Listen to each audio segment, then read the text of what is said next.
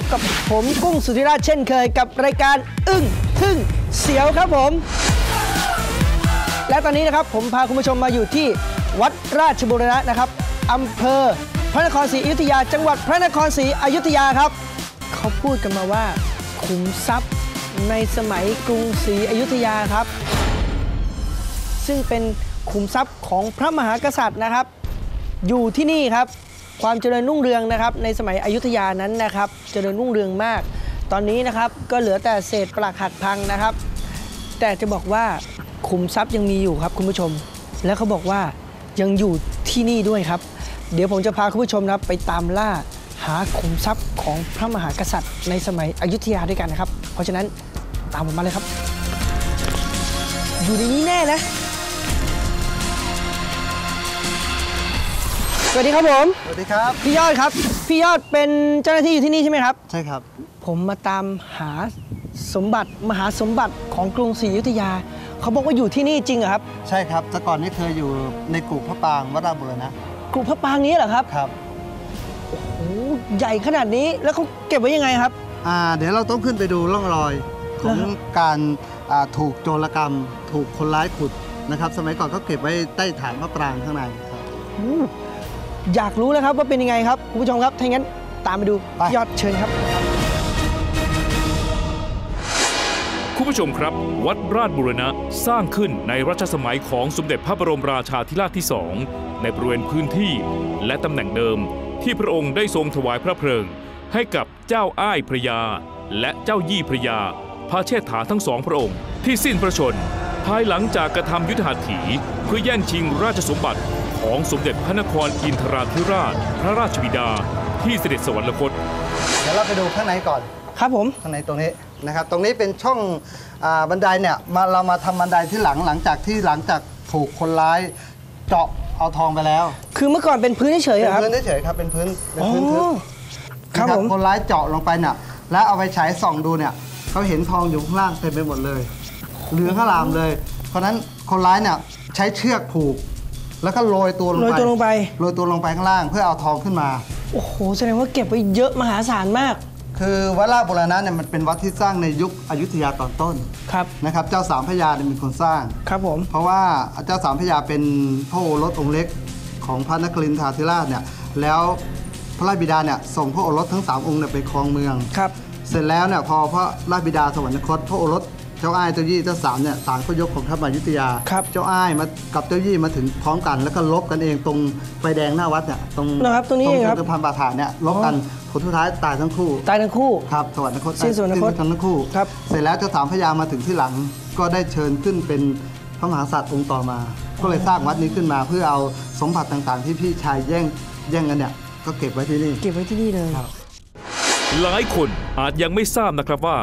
ที่วัดราชบุรณะจังหวัดพระนครศรีอยุธยาแห่งนี้นั้น มีชื่อเสียงและความโด่งดังมาก กับเรื่องราวของการถูกกลุ่มคนร้ายจำนวนหนึ่ง ลักลอบขุดกรุภายในพระปรางประธาน ในปีพุทธศักราช 2499 และช่วงชิงทรัพย์สมบัติทองคำจำนวนมากมายมหาศาลหลบหนีไป ตรงเนี้ยเรามาดูร่องรอยนะครับที่ที่ คนร้ายขุดนะครับ จะบอกว่าส่วนที่1นะคนร้าย 30 คน แบ่งกันคนละ 2 กิโลครึ่ง หมายความว่าคนขุดเนี่ย20คน อ่าฮะแล้วไปเอาเพื่อนไปเอาพ่อไปเอาพี่มาเอาส่วนแบ่งด้วยรวมแล้ว30 คน 30 ได้คนไปประมาณคนละ 2 กิโลครึ่ง ครับ รวมน้ำหนักทองได้ 75 กิโล75กิโล นะครับเนี่ยตรงเนี้ยอ่าชั้นชั้นที่เราดูภาพตัดเนี่ยนะชั้นที่เราขึ้นมาคือตรงนี้ประครับผตูมแล้วมันยืนตรงนี้ใช่ไหมครับ ยืนตรงเนี้ยแล้วขุดลงไปเจอสองชั้นเนี่ยโอ้โห สองห้องนะครับแล้วพอหลังจากที่กรมศิลปากรทราบข่าวก็ไปตามจับคนร้ายนะครับสส่วนใหญ่ก็ไม่ได้หมดหรอกแล้วก็ครับเก็บอ่าสมบัติต่างๆ ที่ยังเอาไปไม่หมดเนี่ยเอาขึ้นมานะครับจะเห็นว่าเนี่ยคือส่วนหนึ่งของสมบัติที่เหลืออยู่ครับผมหลังจากคนร้ายลักไปแล้วนะครับแล้วก็พระบาทสมเด็จพระเจ้าอยู่หัวทรงเสด็จพระทอดพระเนตรนะครับแล้วก็ทรงมีอ่าพระราชดำรัสนะครับให้สร้างพิพิธภัณฑ์ขึ้นมาที่เก็บเครื่องทองเหล่านี้นะครับยังมีภาพจิตรกรรมฝาผนังที่ทรงคุณค่ามาก ที่หาดูที่ไหนไม่ได้ ครับ เป็นยุคตอนต้นของอยุธยาเลย ถ้าอย่างนั้นเราลงไปดูกันดีกว่าครับ ครับ เชิญเลยคไปครัรับบเดี๋ยวลงบันไดด้านโน้นครับ ครับผม เอาละครับคุณผู้ชม วันนี้พี่กุ้งของเราเขาก็เลยขันอาสา จะพาเรามุดดิน ตามหาห้องมหาสมบัติกัน ดูสิว่าจะมีสมบัติเหลืออยู่ไหมนะครับ ยอดครับ ตอนนี้เราลงมาถึงชั้นที่หนึ่งที่พบเคยเจอกรุสมบัติใช่ไหมครับ ใช่ครับเนี่ยแหละห้องใหญ่เนี่ยห้องนี้เหรอครับ ครับข้างล่างเนี่ยลองไปดู อ๋อครับ นะครับ ชั้นที่หนึ่งครับชั้นเนี้จะวางเต็มไปด้วยเครื่องทองของเครื่องใช้ไม่ว่าจะเป็นเครื่องราชูปโภคครับเครื่องราชกุฏภัณฑ์แล้วก็อ่าของเครื่องใช้ต่างๆ และในกุเนี้ยมันจะมีภาพกิจกรรมฝาผนังให้เราเห็นชัดเจนเลยเมื่อสมัยก่อนก็มีการฉาบแล้วก็เขียนภาพไว้ ที่เห็นอยู่ตรงนี้ใช่ไหมครับเช่นเนี่ยภาพเทวดาเห็นไหมครับอ๋อแล้วทางด้านนี้ก็จะเป็นภาพคนจีนนะฮะกำลังอ๋อแบกคนโทแบกของกำลังเอ่อ สื่อถึงว่าสมัยยานเรามีการค้าขายของคนจีนครับผมนะครับครับ เพราะฉะนั้นมีการวาดภาพเอาไว้ให้เห็นชัดเจนเลย นี่มีคนจีนด้วยคนจีนที่ตรงนี้เป็นที่ที่ ที่คนคนร้ายคนลร้ายงมาจากข้างบนลงมาจากข้างบนมองครับเห็นข้างล่าง อ่มองเห็นข้างล่างตรงเนี้ยอ่าทองเต็มไปหมดเลย อยากรู้ว่าทำไมเอ่อเจ้าสามพระยาเขาถึงเอาพวกทองอะไรเท่าไหร่มาวางไว้ที่นี่ครับ อ่าเนื่องจากว่าพระองค์ท่านได้ได้ขึ้นของราชย์หลังหลังจากที่พระเชษฐาอ่าแย่งชิงกันแล้วครับนะครับพระองค์ท่านเห็นว่า ทรัพย์สมบัติต่างๆเหล่านี้อาจจะไม่เป็นมงคลที่จะต้องเอาเอามาใช้ ก็เลยเก็บเพื่อเป็นพุทธบูชาให้แก่บรรพบุรุษซะเลยอ๋อก็ไม่เอามาใช้แล้วก็ท่านก็ไปปกครองแผ่นดินก็ประทับที่พระราชวังอ๋อและตรงนี้มีทั้งกิจกรรมฝาผนังครับและตรงนี้เป็นจุดที่เก็บทองเก็บทองทั้งหลายครับแล้วโจรนี่ขุดลงไปอีกเหรอครับ ยังมีอีกชั้นหนึ่งครับอ่ากุชั้นใหญ่เนี่ยแล้วยังมีอีกห้องหนึ่งข้างล่างข้างล่างนะครับที่คนร้ายเจาะลงไป เจาะเจาะตรงไหนไปครับเจาะตรงเจาะลงไปเป็นโอ้โหยนะครับนี่ลงไปแค่ตัวเองนะแบบครับลงไปเฉพาะตัว เฉพาะตัวเลยเฉพาะตัวคนเดียวเพราะว่าเป็นศิลาแรงที่แข็งแรงมากแข็งมากครับครับเดี๋ยวเราไปดูอีกชั้นหนึ่งดีกว่าอีกชั้นหนึ่งเดี๋ยวเราจะลงไปรูนี้เลยแล้วกันนะครับเอาไม่ได้แล้วครับเอาไม่ได้ครับถ้าลงทางนั้นก็คงจะขึ้นไม่ได้แต่งั้นเดี๋ยวเราไปไปทางลงอื่นตรงหลังจากที่เราทำบันไดลงไปแล้วไปครับครับเชิญเลยครับโอ้โหนี่ชันลงมากอีครับชั้นหนึ่งชั้นนี้ก็จะลึกกว่าชั้นบนหน่อยนะถ้าลงมาครับ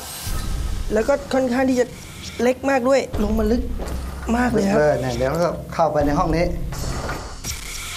ในบริเวณที่เรายืนอยู่ตรงนี้คือจุดที่เจอขุมทรัพย์ชั้นที่สองครับ ชั้นสุดท้ายที่ลึกลงมา ลึกลงมาสุดนะครับอ่าเครื่องทองก็จะวางอยู่บนนี้ แล้วก็จะเห็นว่ารอบประตูสี่ด้านเนี่ยจะมีภาพจิตรกรรมฝาผนังเป็นภาพเขียนสีเป็นภาพเกี่ยวกับพุทธประวัติครับผม เรื่องพระพุทธเจ้าเรื่องอาต่างๆเนี่ยเห็นไหมฮะชัดเจนเลย นี่ผมมองเห็น นั่นแหละสันนิษฐานว่าคนร้ายเจาะลงมาะบคนร้ายเจาะลงมาครับ เจาะจากชั้นบนลงมาอ๋อแล้วก็โรยตัวลงมาอีกครับมามาเก็บเอาขขอองงสำคัญในนี้ครับขึ้นไปอีก ใช่ฮะจากข้างบนลงมาถึงนี่ครับ ความลึกควาเท่ามไหร่คลึรับกจากชั้นบนสุดที่เรายืนอยู่ตรงเดินพลาดน่ะน่าจะสิบกว่าเมตรสิบกว่าเมตร นะฮะใช่ คุณผู้ชมครับ ภายในพระปรางนั้นนอกจากจะมืดแล้ว ยังคับแคบมากๆเลยนะครับ โอ้โห ดูรูนี้สิครับ เจ้าโจร500 มันยังมุดแววสมบัติจนได้ แต่ก็ใช่ว่าสมบัติจะถูกขโมยไปเสียหมดนะครับ เพราะเราจะพาไปชมสมบัติที่ยังคงหลงเหลือของกษัตริย์สมัยกรุงศรีอยุธยากันนะครับ คือตรงเนี้ยเป็นที่ที่เคยเก็บจริงครับๆในสมัยอยุธยาครับแล้วตอนนี้นะครับไปเก็บไว้ที่ไหนครับ พิพิธภัณฑ์เจ้าตากพระยา พิพิธภัณฑ์เจ้าสามพระยาครับถ้าอย่างนั้น เดี๋ยวเราจะไปดูของจริง ๆ ที่สามารถเก็บคืนมาได้นะครับ ประมาณบางส่วนแค่บางส่วนแค่ 20%เท่านั้นเองที่พิพิธภัณฑ์เจ้าสามพระยา เดี๋ยวเราไปดูด้วยกันดีกว่านะครับ ขอบคุณพี่ยอดมากนะครับ ขอบคุณครับ ครับสวัสดีครับ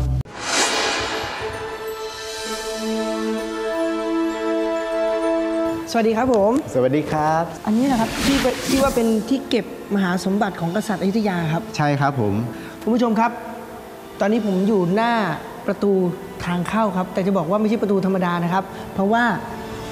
นี่ครับ เหมือนตู้เซฟเลยนะครับ ใช่ครับเป็นเซฟของแท้เลยนะครับ เซฟของแท้เลยครับ ครับผม เรียกได้ว่าหายากมากใช่ไหมครับ ครับหายากแล้วก็หาชมที่ไหนไม่ได้อีกแล้วในประเทศไทยของเรานอกจากที่พิพิธภัณฑ์เจ้าสามพระยาแห่งนี้ เฉพาะเครื่องทองของกรุงศรีอยุธยาครับ ครับ พูดแล้วก็ตื่นเต้นแล้วครับคุณผู้ชม อยากเข้าไปดูข้างในมากเลยครับ ผมจะสามารถผ่านตู้เซฟนี้ไปได้ไหมครับ ได้ครับ เดี๋ยวได้ ผมพาไปครับ เดี๋ยวเราจะเข้าไปดูข้างในครับ แต่ว่า คงต้องให้พี่รังสรรค์นะครับ เป็นคนเปิดตู้เซฟเข้าไปครับ เชิญครับครับ เชิญน้องกุ้งเลยครับ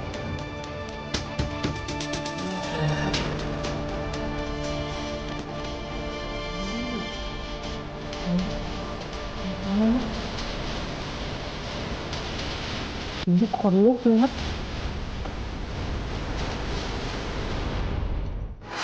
โอ้โห คุณผู้ชมครับ นี่ก็ถือว่าเป็นมหาสมบัติสมัยอยุธยาอย่างแท้จริง ทางหน่วยงานราชการจึงได้จัดเก็บไว้ในตู้เซฟพิพิธภัณฑ์ เจ้าสามพระยานะครับ พร้อมกับระบบรักษาความปลอดภัย ที่แน่นหนาสุดๆเลยทีเดียวโอ้ยพี่รังสรรค์ครับ ครับผม สมบัติเยอะมากครับ ที่เราเห็นเนะครับเรารวบรวมคืนมาแล้ว เหลือไม่ถึง 20%นะครับ ไม่ถึง 20%ใช่ครับ ในปี 2500อะคนร้ายลงไปหลายสิบคนนะครับ ครับ ไปขโมยของเหล่านี้นะครับ แต่บุคคลเหล่านั้นนะครับ หลังจากที่นำเครื่องทองจากหลวงราชบุรณะไป ครับก็มีเหตุเป็นไปกับชีวิตของเขา กับครอบครัวของเขา เหรอครับบางคนก็ถูกฆ่าตายนะครับ โอ้ บางคนก็ถูกยิงตาย ร้านที่รับซื้อทองที่อยู่อยุธยาของเราเนี่ยก็ถูกไฟไหม้นะครับครับ เพราะเขาถือนะครับว่า ของเหล่านี้เป็นของสูงครับถ้าเรามีบารมีไม่ถึงมีไว้ครอบครองย่อมมีอันเป็นไปครับตู้นี้ก็จะเป็นตู้ที่จัดแสดงเกี่ยวกับเครื่องราชูปโภคทองคอ๋อทองล้วนำๆทองแท้ล้วนๆทองทั้งหมดนะครับสิ่งที่คุณผู้ชมกำลังเห็นอยู่นี้ นี่คือทองคำเก่าแก่ สวยงามมากๆเลยนะครับ ก็เป็นทองคำที่ยังคงหลงเหลืออยู่เพียงแค่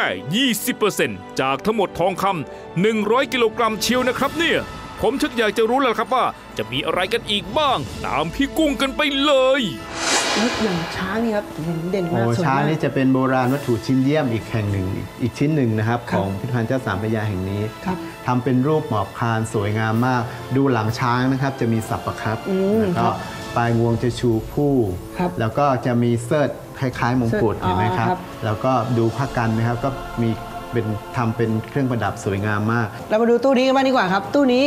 มีความสำคัญยังไงบ้างครับ มีอะไรตัวบ้างนี้ครับ จะเป็นกลุ่มเครื่องราชบรรณาการนะครับ และอ๋อเครื่องอุทิศต่างๆนะ ครับ ตู้นี้มีเครื่องอะไรบ้างครับ อ๋อในตู้นี้เขาจะเรียกว่าเป็นตู้ที่จัดแสดงเครื่องทรงและฉนิมพิมพาพรทองคำความหมายก็คือเครื่องประดับเครื่องประดับ ครับผมมาดูชิ้นนี้ครับ ชิ้นใหญ่มากครับ ตรงนี้เรียกอะไรนะครับ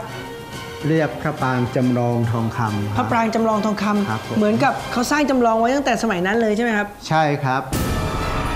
ตู้นี้ครับสำคัญมากครับ ครับ ในตู้นี้นะครับ เป็นตู้ที่จัดแสดงเครื่องราชกกุฏภัณฑ์ทองคครับำกกุฏภัณฑ์น้องกุ้งคือ เข้าใจไหมครับ คือเป็นสิ่งที่สำคัญของเออพระเจ้าอยู่หัวในสมัยสมัยนั้นใช่ไหมครั ใช่ครับ คือ เป็นเครื่องที่บ่งบอกถึงแสดงความเป็นพระราชานะฮะของพระมหากษัตริย์ครับ เป็นของคู่ตัวเลยพวกใช่ครับเป็นหนึ่งใน 5 ของเครื่องสูงที่เราเรียกว่าเบญจราชกกุฏภัณฑ์ว้าวว้าว นี่เป็นสมบัติทองคำที่อลังการ เป็นมหาสมบัติของชาติที่สวยงามทั้งฝีมือ ควรค่าแก่การเก็บรักษาไว้จริง ๆ เลยนะครับเนี่ย ถือว่าเป็นบุญตาแท้ ๆ เลยนะครับคุณผู้ชม คุณผู้ชมครับ นี่ครับเราก็ได้เห็นความตระการตาครับกับสิ่งสำคัญ ซึ่งเรียกได้ว่าเป็นมรดกของชาติบ้านเมืองเราในสมัยกรุงศรีอยุธยาเลยครับ พิพิธภัณฑ์นะครับเจ้าสามพระยาแห่งนี้นะครับ ได้เก็บรวบรวมสิ่งสำคัญนะครับ เป็นเครื่องทองในกรุวัดราชบุรณะนะครับ ที่มีมายาวนานกว่า 600 ปีนะครับ ให้เราได้ชมกันในวันนี้นะครับ ต้องบอกว่าอึ้งมากครับ แล้วก็ ที่สำคัญที่สุดก็คือว่าที่เห็นทางด้านในนะครับ ก็เป็นสิ่งที่กษัตริย์ในสมัยอยุธยานะครับ เป็นผู้ที่ครอบครอง เพราะฉะนั้นนะครับ ใครที่ได้รับตกทอดกันมาในยุคไหนก็แล้วแต่นะครับ ถ้ามีอยู่ที่บ้านนะครับนำมาคืนดีกว่าครับ เพราะว่าเป็นสมบัติของชาติบ้านเมืองครับ วันนี้ผมขอบคุณพี่รังสรรค์มากนะครับ ที่ให้ความรู้แล้วก็ให้ผมได้มีโอกาสได้มาเยี่ยมชมได้มาอึ้งในวันนี้ด้วยนะครับ ขอบคุณมากนะครับ และผมขอการันตีว่า เรื่องมหาสมบัติกษัตริย์อยุธยา อึ้งทึ่งสูงจริงครับ